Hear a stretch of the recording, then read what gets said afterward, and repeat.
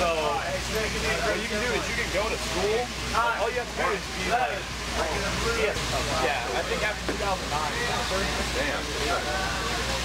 My last bag. I got a big, huh? How?